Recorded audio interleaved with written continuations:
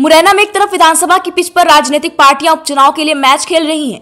वहीं आज राज्यसभा सांसद ज्योतिरादित्य सिंधिया ने पहले राजनीति की पिच पर विपक्षी टीम के खिलाफ जमकर बल्लेबाजी की। कार्यकर्ता सम्मेलन को संबोधित करते हुए कांग्रेस पर जमकर निशाना साधा। उनके अनुसार खिलाड़ी भावना के साथ ही बीजेपी प्रदेश में 28 सीटों पर हो रहे उपचुनाव में जीत दर्ज करेगी। हालाँकि सिंधिया ने मंच के पीछे ही क्रिकेट सीख रहे खिलाड़ियों को देखकर उनसे मिलने पहुँचे और फिर क्रिकेट की पिच पर अपनी बल्लेबाजी के जौहर भी दिखाए। उनकी बल्लेबाजी देखकर साफ़ हो गया कि इस समय सिंधिया फार्म में है और जीत के लिए पूरी तरह से तैयार हैं। एक स्पोर्ट्समैन स्पिरिट के साथ जीवन में अपनाना चाहिए।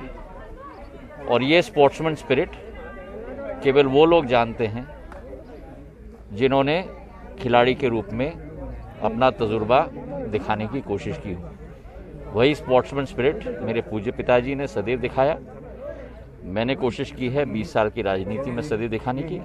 और जहाँ तक चुनाव का मामला है, मुझे पूरा विश्वास है कि पूरे मध्य प्रदेश में 28 सीटों का चुनाव होने जा रहा है और भाजपा का परचम पूर्ण रूप से लहराएगा और जनता का विश्वास प्रगति में, विकास में, प्रधानमंत्री नरेंद्र मोदी जी में, जेपी नड्डा जी में और प्रदेश में शिवराज सिंह जी में पूर्ण रूप से धारणा जनता की होगी इसका मुझे पूरा विश्वास आप देख रहे हो मैं एक एक कार्यकर्ता से मिल रहा हूँ।